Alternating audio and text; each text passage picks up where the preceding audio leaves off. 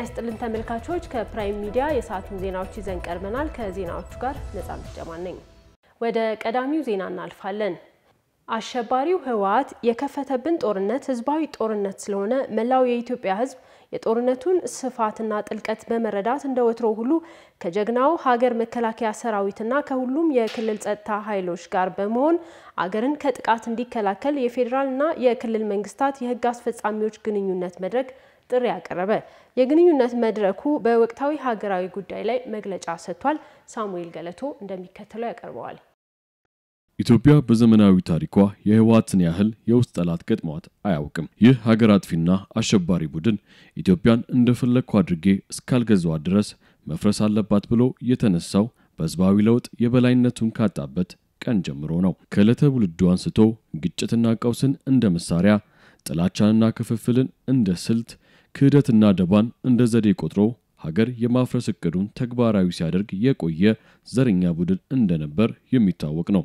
ብሔር ከብሔር እንዲጋጭ፣ ሃይማኖት ከሃይማኖት እንዲናከስ፣ ህዝብ ከህዝብ እንዲጠላላ፣ የሀገርነት ስሜት ከዜጎች ልብ ተፍቆ እንዲጠፋ ሳያለሰልስ ሰርቷል። ይህ ሁሉ ሆኖ ቡድኑ በኢትዮጵያና በኢትዮጵያውያን የይቅርታ ልብ ሳይቸረው አልቀረም። ስህተቱን አርሞ ዳግም ሀገር የመምራትና ህዝብን የማስተዳደር ዕድል ተሰጥቶትም ነበር። ዳሩ ግን እኩልነትን እንደ በታችነት የቆጠረው ህወሓት የኢትዮጵያ መንግስትና ህዝብ ያቀረበለትን የይቅርታና የሰላም ገበታ ገልብጦ የተዘረጋለትን የፍቅርና የመደመር እጅ ነቅሶ በለውጡ ማግስት ኢትዮጵያን ለማፍረስ ተጠቅልሎ መቀሌ ገባ። በትግራይ ክልል በቆየባቸው ዓመታት በአንድ በኩል ከሀገር መከላከያ ሰራዊት መሳ ለመሳ የሚሆን ወታደራዊ እየገነባ በሌላ በኩል የለውጡን ሂደት ለማደናቀፍ ለእኩይ ስራው ከሚተባበሩት ኃይሎች ጋር ሆኖ ህዝብ ትከሻ ላይ የመከራ ቁልል እንዲጨምር ሲተጋ ከረመ። በትብብር ሀገር ያቆዩ ሃይማኖቶችንና ተከታዮቻቸውን በአጠቃላይ የኢትዮጵያን ህዝብ እርስ በርስ ለማናከስ የግጭት ድንጋዮችን ሲፈነቅል ቆየ።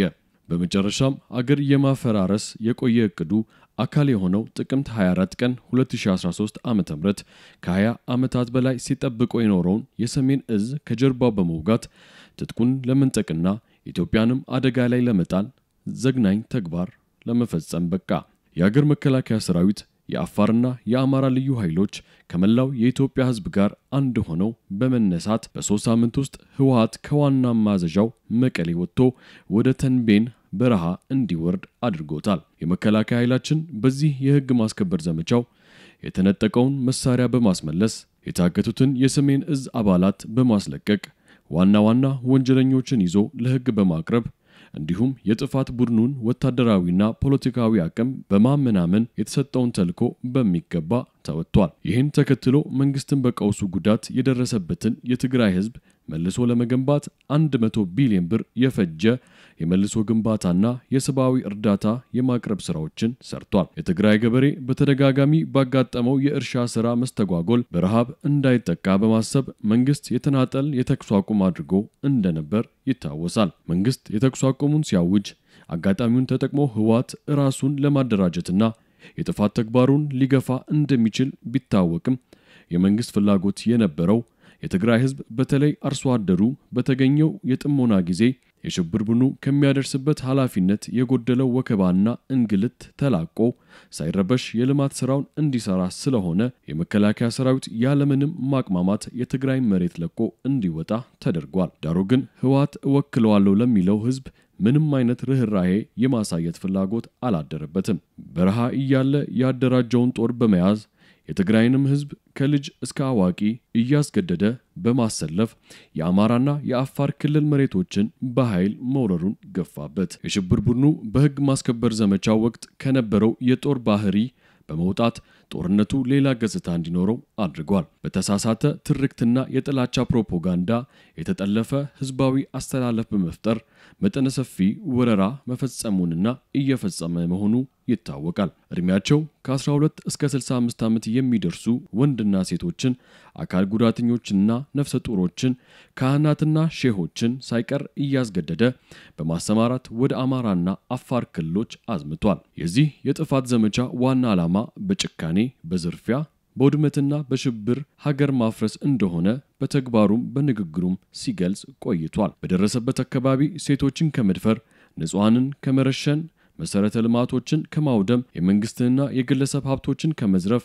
የቤት እንስሳቶችን በጥይት ከመግደል አልተቆጠበም። ህዝብን እያሸበረ እንዲሰደድ ሲያደርገውም ቆይቷል። ህወሓት የጀመረውን ሀገር የማውደምና የማፍረስ ተልዕኮ በመደበኛ ወታደራዊ አደረጃጀት ብቻ መቀልበስና መቅበር አይቻልም። መላውን የኢትዮጵያ ህዝብ በማነቃነቅና ባለቤት በማድረግ የሀገርን ህልውና ከሁሉ አቀፍ ጥቃት መከላከል ያስፈልጋል። የምንከተለው የዘመቻ ስልት የሽብር ቡድኑን አቅምና የክፋት ምኞቱን በመስበር ሀገር የማፍረስ ህልሙን ለአንዴና ለመጨረሻ ጊዜ ማምከን መሆን አለበት። አቅሙን መስበር ስንል የሽብር ቡድኑ ያሰለፈውን መሳሪያና ወራሪ ኃይል በመደምሰስ እኩይ ፍላጎቱን ለመጨረሻ ጊዜ መቀልበስ ማለታችን ነው። ህልውና ግልጽ ሚና ያላቸውን የክፋት ኃይሎች አንድ እርምጃ ከመራመዳቸው በፊት አስር ጊዜ ለማሰብ እንዲገደዱ ማድረግ ነው። ኢትዮጵያ የጀግኖች ሀገር ብቻ ሳትሆን የጀግንነት መለኪያ ናት። እንኳንስ የሚያደራጀው የሚያስታጥቀውና የሚያሰማራው አግኝቶ መንግስት የለም ባለበት ጊዜ እንኳ የሀገር ፍቅር ያለው ኢትዮጵያዊ ምንም አይነት ተአምር ሊሰራ እንደሚችል በአምስት ዓመቱ የጣሊያን ወረራ ወቅት ታይቷል። የራሱን ስንቅ ቋጥሮ፣ የራሱን ጠመንጃ ወልውሎ፣ የራሱን አደረጃጀት ፈጥሮ በሚያውቀው ዱርና ገደል ገብቶ ፋሽስት ጣሊያንን ከቆመበት እንዳይቀመጥ ከተቀመጠበት እንዳይተኛ አድርጎታል። ያ ህዝብ፣ ያ ወኔ፣ ያ ኢትዮጵያዊነት ዛሬም ከነሙሉ ክብሩ አለ። እግርና እግር ምን ቢጋጩም ለመድረስ ግን በአንድ አቅጣጫ አብረው መጓዝ አለባቸው ይባላል። ህወሓት የኢትዮጵያ የወቅቱ አንደኛ አደገኛ ቀንደኛ የደህንነት ስጋት ነው። የዚህን የጥፋት ቡድን ተልዕኮ ለመቀልበስ ኢትዮጵያውያን ሁሉ አንድ ሆነን መነሳት አለብን። የሚያጋጥምንን ህመም ችለን የሚደቀንብንን ፈተና ተቋቁመን የውስጥ ክፍተቶቻችንን ሞልተን ጠንክረንና ነጥረን በመውጣት የጥፋት ቡድኑን ምኞት እናመክናለን። ህዝብን በጅምላ ጠላት አድርጎ የሚፈረጅበት አካሄዱ፣ ሂሳብ የማወራረድ ጥማቱ፣ ሀገር የማፍረስ ከንቱ መሻቱ እና ሀገርና ህዝብን ለውጭ ጠላቶች አሳልፎ የመስጠት ክህደቱ እስከ ወዲያኛው ያከትማል። ዛሬ ባህር ዳር ተገኝተን ይህንን የኢትዮጵያ መከራ የሆነ ጠላት በህዝባዊ ኃይል እንዴት መክተን ቀልብሰንና ደምስሰን እንደምንቀብረው መክረናል። በወኔና በቆራጥነት በእልህና በቁጭት የተነሱ የሀገር ልጆች በአነስተኛ መስዋዕትነት የጥፋት ቡድኑን ተልዕኮ ለማምከን ዝግጁነታችንን ደግመን አረጋግጠናል። ድላችን የሚሳካው በተነሳሽነታችን ነውና እንደ አንድ ልብ መካሪና እንደ አንድ ቃል ተናጋሪ ብቻ ሳይሆን እንደ አንድ ክንድ ተግባሪ ሆነን የተነሳብንን ጠላት አሳፍረን እንሸኘዋለን። የሽብር ቡድኑ ጀንበር ስታቀዘቅዝ ያኔ ለሀገራችን የንጋት ጨረር ይፈነጥቃል። ለዚህም ታሪካዊ ሥራ ሰርተን ታሪክን እንደምንቀይር ምንም ጥርጥር የለውም። መላው የሀገር መከላከያ ሰራዊት አባልና የሁሉም ክልል የጸጥታ ኃይሎች በየአውደ ውጊያው እየተዋደቁና ክቡር መስዋዕትነት እየከፈሉ የሚገኙ ለኢትዮጵያዊነት የማይተካ ክብርና ፍቅር ነው። እኛም ሆንን መላው ኢትዮጵያውያን በማንኛውም ሁኔታ አብረናችሁ መሆናችንን እያረጋገጥን ኢትዮጵያና ኢትዮጵያውያን ለዘላለም በጀግንነት የሚዘከርላቸው መሆኑን ልናረጋግጥላችሁ እንወዳለን። ስለሆነም የጀመራችሁት ታሪካዊና ፍትሐዊ ተጋድሎ በድል እንደሚጠናቀቅ ለአፍታም ቢሆን አንጠራጠርም። በዚህ አጋጣሚ ለእናንተ ለብርቅዬ ጀግኖቻችን ያለንን ፍቅርና አክብሮት በመላው የኢትዮጵያ ሕዝብ ስም በይፋ ልንገልጽላችሁ እንወዳለን። በመጨረሻም አሸባሪ ህወሓት የከፈተብንን ጦርነት ህዝባዊ ጦርነት ስለሆነ መላው የኢትዮጵያ ሕዝብ የጦርነቱን ስፋትና ጥልቀት በመረዳት እንደ ወትሮ ሁሉ ከጀግናው የአገር መከላከያ ሰራዊትና ከሁሉም የክልል ጸጥታ ኃይሎች ጋር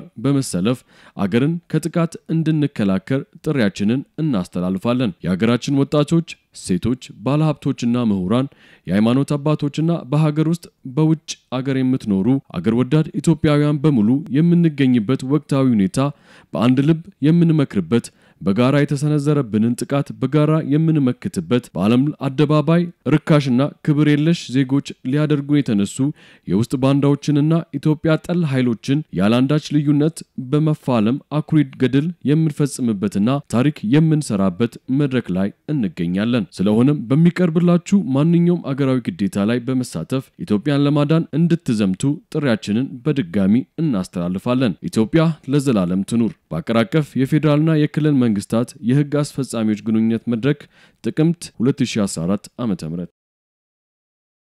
ህንድና ጣሊያን ከኢትዮጵያ ጋር ያላቸውን ግንኙነት ይበልጥ አጠናክረው እንደሚቀጥሉ ገለጹ።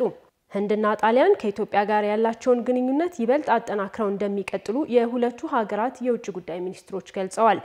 የውጭ ጉዳይ ሚኒስትሮቹ ይህን ያሉት አቶ ደመቀ መኮንን ምክትል ጠቅላይ ሚኒስትርና የውጭ ጉዳይ ሚኒስትር ሆነው በመሾማቸው የተሰማቸውን ደስታ በገለጹበት ወቅት ነው። የህንድ የውጭ ጉዳይ ሚኒስትር ዶክተር ሱብራማኒያ ጄይሻካር ኢትዮጵያና ህንድ በመካከላቸው ያለውን አቅም ሙሉ በሙሉ በመጠቀም ለሁለቱ ሀገራት ዜጎች ይበልጥ ተጠቃሚነት እንደሚሰሩ ገልጸዋል። የጣሊያኑ ውጭ ጉዳይ ሚኒስትር ዲዮማ በበኩላቸው የኢጣሊያና ኢትዮጵያ ግንኙነት ታሪካዊና ረዥም ዕድሜ ያስቆጠረ መሆኑን በመጠቆም ይኸው ታሪካዊ ግንኙነታቸውን በቀጣይ ወደ ተሻለ ደረጃ መሸጋገር እንደሚገባው አብራርተዋል። ኢትዮጵያ ለአፍሪካ ቀንድ ሰላምና መረጋጋት ቁልፍ ሀገር በመሆኗ አሁን ላይ በውስጧ የገጠማትን ፈተና ለማለፍ እያደረገችው ያለውን ጥረት ጣሊያን ትደግፋለች ማለታቸውን ከውጭ ጉዳይ ሚኒስቴር ያገኘነው መረጃ ያመለክታል።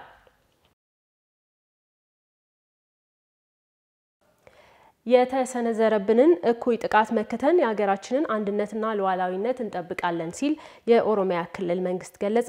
የክልሉ መንግስት በወቅታዊ ጉዳይ ላይ መግለጫ ሰጥቷል። አለማየሁ ኃይለማርያም ይህ ትግል ያስገኘው ድል ለሀገራችንና ሕዝባችን በተስፋ የተሞላ አዲስ ምዕራፍ መክፈት ችሏል። ይሁን እንጂ አሸባሪው የትህነግ ኃይል በ27 ዓመታት የስልጣን ዘመኑ አያሌ ዜጎች ላይ መከራና እንግልት በማድረስ የአገርን ሀብት ሲዘርፍና ሲያዘርፍ እንደነበር ይታወቃል። ትህነግ በውስጥና በውጭ እንዲሁም በሀሳብ በመድረክ ላይ በተደረገው የተቀናጀ ትግል የሀገራችንን ፖለቲካዊና ኢኮኖሚያዊ እድገት የሚመጥን ሀሳብ የማመንጨት አቅም መንምኖበት በ2010 ዓ ም ከስልጣን ተወገደ። ይህ ትግል ያስገኘው ድል ለሀገራችንና ህዝባችን በተስፋ የተሞላ አዲስ ምዕራፍ መክፈት ችሏል። ይሁን እንጂ አሸባሪው የትህነግ ቡድን በጠመንጃ የራሱ አድርጎ ከነበረው የመንግስት ስልጣን በህዝባዊ ተቃውሞና በመድረክ ትግል ቢነጠቅም በስልጣን ዘመኑ የዘረፈውን ሀብት በመጠቀም ላለፉት አራት ዓመታት በሀገራችን ረብሻና ግጭቶችን በመፍጠር በማስፋፋት አገራችንን ለማፍረስ ያለውን ዓላማ ለማሳካት አቅሙን ሁሉ አሟጦ ሲሰራ ቆይቷል። እንደ ሸኔ ካሉት የሽብር ኃይሎች ጋር በመመሳጠር የብሔርና የሃይማኖት ግጭቶችን በመፍጠር የአያሌ ዜጎችን ህይወት ለቀውስ ዳርጓል። ብዙዎችን ለሞት፣ ለአካል ጉዳት፣ ለስነ ልቦና አጋልጧቸዋል። ንብረትም አውድሟል። የትህነግ የሽብር ኃይል ግጭትና ሁከት በመፍጠር የዜጎችን ህይወት ለመከራ ከማጋለጥ አልፎ በጀግናው የመከላከያ ሰራዊታችን የሰሜን እዝ ላይ ባደረሰው የክህደት ጥቃት የሀገራችንን ሉዓላዊ ሰላምና መረጋጋት ለአደጋ አጋልጦት ነበር። ይህ የሽብር ቡድን በቅርቡ በአማራና በአፋር ህዝቦቻችን ላይ ባደረሰው ወረራ በመቶ ሺዎች የሚቆጠሩ ዜጎችን ከመኖሪያ ቀያቸውና ከሀብት ንብረታቸው በማፈናቀልና በመዝረፍ ሴቶችን በመድፈር ዘግናኝ ግድያዎችን በመፈጸም ተወዳዳሪ የሌለው ጭካኔ አሳይቷል። አሸባሪው የትህነግ ኃይል ከተላላኪዎቹ ጋር በማበር ኢትዮጵያን ለመበተን የፎከረበትን ህልሙን ለማሳካት ያለውን ኃይል ሁሉ ማሰማራት ብቻ ሳይሆን ከሀገራችን ጠላቶች ጋር በጋራ እየሰራ ይገኛል። በአገር ሉዓላዊነት ላይ ከማንም ጋር የማይደራደር የኢትዮጵያ ህዝብ በፖለቲካ አመለካከት ልዩነት ሳይለያይ የትህነግ የሽብር ቡድን የሰነዘረበትን እኩይ ጥቃት በአንድነት እየቀለበሰ ይገኛል። የክልላችን ህዝብም ለጀግናው መከላከያ ሰራዊታችን ከዶሮአችን እስከ ነፍሳችን በማለት የሚያስፈልገውን ሁሉ እየሰጠ ነው። ትህነግ ትናንት እንደለመደው የኢትዮጵያን ብሔር ብሔረሰቦች በትናንሽ ልዩነቶች በመለያየት በመካከላቸው ጥርጣሬን ፈጥሮ እየገዛ ነበር። ዛሬም አንድነታችንን ለማዳከም የውሸት ፕሮፓጋንዳን ማምረትና ማሰራጨት ቀጥሎበታል። በተለይም በኦሮሞ ህዝብና በአማራ ህዝብ መካከል ያለውን ወንድማማችነትን ለማዳከም ያልተበተበ ሴራ፣ ያልሰራ ፕሮፓጋንዳ፣ ያላሰራጨው የጥላቻ መርዝ አልነበረም። ይሁን እንጂ የኦሮሞ ህዝብና የአማራ ህዝብ እንደ ትናንቱ ከኢትዮጵያ ብሔር ብሔረሰቦች ጋር ወድቀው በመነሳት ኢትዮጵያን እንደገነቧት ዛሬም የአንድነቷና የህዝቧ ጸረ የሆነ የሀገራችንን ሰላምና መረጋጋት ለአደጋ የሚያጋልጡ የውስጥና የውጭ ጠላቶችን ለመቀልበስ ከየትኛውም ጊዜ በላይ በአንድነት ቆመው እየተፋለሙ ይገኛሉ። የኦሮሞ ህዝብና የኦሮሚያ ክልላዊ መንግስት ጀግናው የመከላከያ ሰራዊት የትህነግ አሸባሪ ቡድንን ለመደምሰስ ሰሞኑን እየወሰደ ያለውን እርምጃ በመደገፍ የሚያስፈልገውን ድጋፍ ሁሉ በመስጠት የትህነግ ተላላኪ የሆነውን ሸኔ ከክልላችን ለማስወገድ ህዝብና መንግስት አስተባብሮ በመስራት ላይ ይገኛል። የክልላችን ህዝብ እንደ ትናንትናው አንድነታችሁን ጠብቃችሁ በውጭና በውስጥ ኃይሎች ያስመዘገበውን ድል ዛሬም በአንድነት የሀገራችን ጸር የሆነ ኃይሎችን በማስወገድ የሀገራችንን ብልጽግና እንደምታሳኩ ጥርጣሬ የለውም። በመጨረሻም የኦሮሞ ሕዝብ በክልላችን ለብዙ ዘመናት በሰላም ከኖሩ ብሔር ብሔረሰቦች ጋር በመተባበር በሕዝቦች መካከል ጥርጣሬ የሚረጩና ጥላቻን የሚያሰራጩ የጥፋት ኃይሎችን በመታገል ለክልላችን ልማት በመደማመጥና በአብሮነት መስራት ከየትኛውም ጊዜ በላይ አሁን አስፈላጊ ነው። በተለይም ከክልላችን የጸጥታ ኃይሎች ጋር በመተባበር የአካባቢያችሁን ሰላምና መረጋጋት በንቃት እንድትጠብቁና ለጀግናው መከላከያ ሰራዊታችን እያደረጋችሁ ያላችሁን እርዳታ እንድትቀጥሉበት የኦሮሚያ ክልላዊ መንግስት በድጋሚ ጥሪውን ያቀርባል። የኦሮሚያ ክልላዊ መንግስት ጥቅምት 19 2014 ዓ.ም የጤና ሚኒስትር ዶክተር ሊያ ታደሰ በሶማሌ ክልል የሚገኙ የጤና ተቋማት አገልግሎት አሰጣጥ ሁኔታን ጎበኙ። ሚኒስትሯ በፋፍን ዞን አውበሬ ወረዳ የአውበሬ ጤና ጽሕፈት ቤት ተገኝተው በጤና ዘርፍ እየተሰሩ ያሉ ስራዎችን ተመልክተዋል። በጉብኝቱም የጤና ጽሕፈት ቤቱ የ2013 ዓ.ም ስራ አፈጻጸምን በተመለከተ ገለጻ ተደርጎላቸዋል። በጉብኝቱ ላይ የጤና ሚኒስትር ዴኤታ ሳረላ አብዱላሂን ጨምሮ በጤናው ዘርፍ ያሉ ከፍተኛ አመራሮች ተሳትፈዋል። በአዲስ አበባ እየታየ ያለውን የኑሮ ውድነት ለመቀነስ በምርት አቅርቦትና ስርጭት ላይ የሚፈጠረውን ሰው ሰራሽ የዋጋ ንረት ለመቀነስ ባዛር ማዘጋጀቱን የአዲስ አበባ ከተማ ንግድ ቢሮ አመለከተ። ባዛሩ በዋናነት በአቅራቢውና በሸማቹ መካከል የሚገኘውን የአቅርቦት ሰንሰለት ለማሳጠርና የገበያ አማራጮችን ለማስፋት ያለ መሆኑን ቢሮው ገልጿል። ለንግድ ባዛሩ የመጀመሪያ ዙር ሀያ ቦታዎች የተዘጋጁ ሲሆን የፊታችን እሁድም የትራንስፖርት መዳረሻና የሕዝብ ብዛትን መሰረት በማድረግ በመገናኛ፣ ፒያሳ፣ ሜክሲኮ አደባባይ፣ ቃሊቲ መናኸሪያና ጀሞ 67 ቁጥር ማዞሪያ የሙከራ ስራ ይጀምራል ተብሏል። በባዛሩም ከግብርና ምርቶች የጤፍና የስንዴ ዱቄት፣ የባልትና ውጤቶች፣ ጥራጥሬና እህሎች እንዲሁም አትክልትና ፍራፍሬዎች እንደሚቀርቡ ተመልክቷል። ከኢንዱስትሪ ምርቶች ደግሞ ዘይት፣ ማካሮኒና ፓስታ ይቀርባሉ ተብሏል። በባዛሩ አቅርቦት ላይም በኦሮሚያ ክልልና አዲስ አበባ ዙሪያ የሚገኙ የህብረት ስራ ማህበራትና አርሶ አደሮች፣ የአዲስ አበባ ህብረት ስራ ማህበራት፣ በአዲስ አበባ የሚገኙ የሰብልና አትክልት አቅራቢዎች ወይም የጅምላ ነጋዴዎችና በምግብ ማቀነባበር የተሰማሩ ፋብሪካዎች እንደሚሳተፉ ኤፍቢሲ ዘግቧል። የትራንስፖርትና ሎጂስቲክ ሚኒስቴር ከዚህ ቀደም በፌዴራል ትራንስፖርት ባለስልጣን በኩል ሲሰጡ የነበሩ ሰባት አገልግሎቶችን በከተማና በከተማ አስተዳደሮች እንደሚሰጡ ገለጸ። ሚኒስቴሩ ከትራንስፖርትና ሎጂስቲክ ዘርፍ የክልልና ከተማ አስተዳደር አመራሮች ጋር የምክክር መድረክ አዘጋጅቷል። በመድረኩ የትራንስፖርትና ሎጂስቲክ ሚኒስትር ወይዘሮ ዳግማዊት ሞገስ በአዲሱ አደረጃጀት መሰረት ከዚህ ቀደም በፌዴራል ትራንስፖርት ባለስልጣን በኩል ሲሰጡ ከነበሩ አገልግሎቶች በፌዴራል በክልልና በግሉ ዘርፍ የሚሰጡ አገልግሎቶች መለየታቸውን ገልጸዋል። ይህም አገልግሎቶቹን ለሕዝብ ይበልጥ ተደራሽና ቀልጣፋ በሆነ መንገድ ለመስጠት ያስችላል ብለዋል። በዚህ መሰረት ሰባት አገልግሎቶች በክልልና ከተማ አስተዳደሮች የሚሰጡ ሲሆን ይህንንም አስመልክቶ በተዘጋጀ ሰነድ ላይ ውይይት ከተደረገ በኋላ በሚሰጡ አገልግሎቶች ላይ የጋራ መግባባት ላይ መደረሱን የትራንስፖርትና ሎጂስቲክ ሚኒስቴር መረጃ ያመለክታል።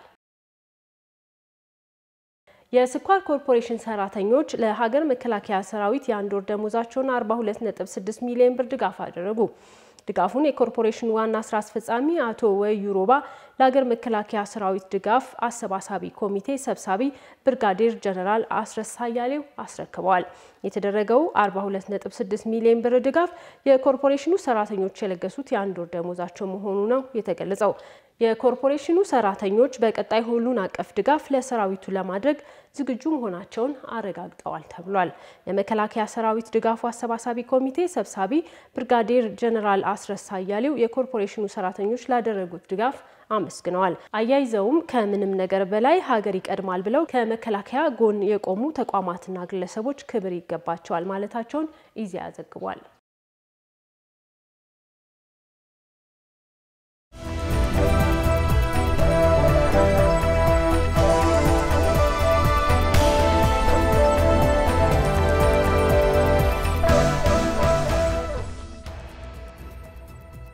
ከውጭ ምንጮች ወዳገኘናቸው ዜናዎች እናልፋለን።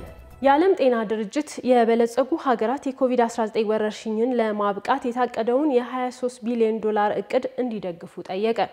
የዓለም ጤና ድርጅትና ሌሎች የረድኤት ተቋማት በሚቀጥሉት 12 ወራት ውስጥ የኮቪድ-19 ክትባቶችን ምርመራዎችንና መድኃኒቶችን ወደ ድሃ ሀገራት ለማድረስ የታቀደውን 23.4 ቢሊዮን ዶላር እቅድ እንዲደግፉ ለዓለም ሀያ ታላላቅ ኢኮኖሚ መሪዎች ጥያቄ አቅርቧል። የዓለም ጤና ድርጅት ዋና ዳይሬክተር ዶክተር ቴድሮስ አድሃኖም በሳምንቱ መጨረሻ በሮም የሚሰበሰቡት የቡድን ሀያ አባላት እቅዱን በገንዘብ በመደገፍ ወረርሽኙን ለማስቆም የሚያስችል የፖለቲካና የ financial አቅም እንዳላቸው ተናግረዋል። ሀብታም ሀገራት ድጋፍ ካላደረጉ ወደ 82 የሚጠጉ አገሮች የዓለም ጤና ድርጅት ያስቀመጠውን የ40 በመቶ የዓለም ክትባት ሽፋን እቅድን ለማሳካት እንደሚቸገሩ ጠቁሟል ሲል ፍራንስ 24 ዘግቧል። በ2020 በኮቪድ-19 ወረርሽኝ ምክንያት ወደ ሀብታም ሀገራት የሚደረገው ፍልሰት በከፍተኛ ሁኔታ ቀንሷል ሲል የኢኮኖሚ ትብብርና ልማት ድርጅት ገለጸ። ድርጅቱ ይፋ ባደረገው ሪፖርት ባለፈው ዓመት የኮቪድ-19 ወረርሽኝ ከፍተኛ ደረጃ ላይ መድረሱን ተከትሎ ወደ አደጉ ሀገራት የሚጓዙ ስደተኞች ቁጥር በከፍተኛ ፍጥነት መቀነሱን አመልክቷል። እንደ ድርጅቱ መረጃ ባለፈው ዓመት 3.7 ሚሊዮን ሰዎች ወደ 38 የበለጸጉ እና ታዳጊ ኢኮኖሚ ያላቸው ሀገራት የተሰደዱ ሲሆን ይህም ከፈረንጆቹ 2003 ወዲህ ዝቅተኛው ዓመታዊ የፍልሰት ሪፖርት መሆኑ ተገልጿል። ይህንንም ተከትሎ ዋነኛ የስደተኞች መዳረሻ የሆነችው አሜሪካ የቫይረሱን ስርጭት ለመግታት ድንበሯን በመዝጋቷ የስደተኞች ቁጥር በ44 በመቶ መቀነስ የቻለች ሲሆን ይህም ወደ 576 ሺህ ስደተኞች ወደ ድንበሯ ሳይሰደዱ ቀርተዋል ተብሏል። ዘገባው የቢቢሲ ነው።